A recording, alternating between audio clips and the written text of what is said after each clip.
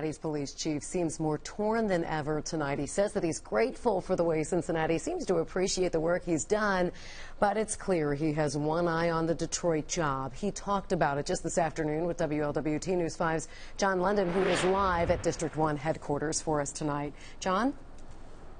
Well, he speaks with a special reverence when he talks about Detroit, Sheree, but he seems genuinely touched by the support he's being given by the community uh, to stay, even if Detroit makes a formal offer.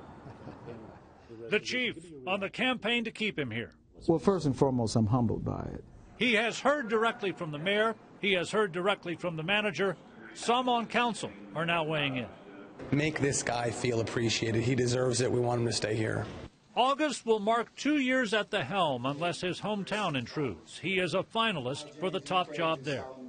The draw is simple. I love the city of Detroit. I was born there. I started my policing career there.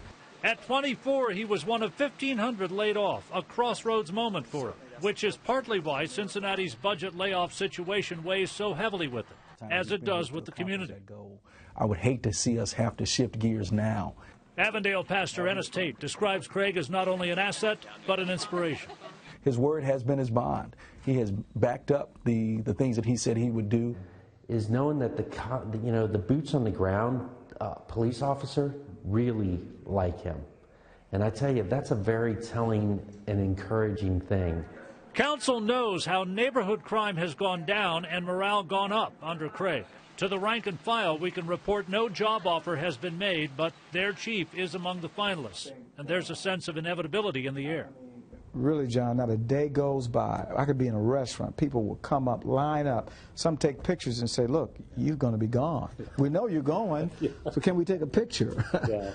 On the Detroit side of the ledger, the chief has deep ties. His parents still live there. He applied the last time the job was open, and he would welcome the challenge of a Detroit Renaissance. On the Cincinnati side, he has unfinished business and, as he puts it, tremendous support in the community and inside the department. Calls his 21 months here rewarding. I will tell you, it has never been about money.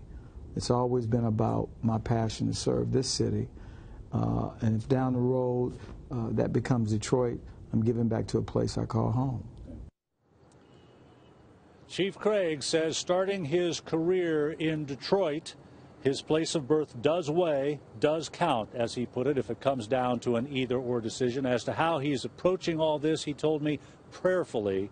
He says, I'm praying for wisdom about it. Reporting live at District 1, John London, WLWT News 5. Okay, so interviews for the top police job in Detroit began a little earlier this month. Chief Craig telling us today that he was contacted about it and did meet with Detroit leaders. Uh, former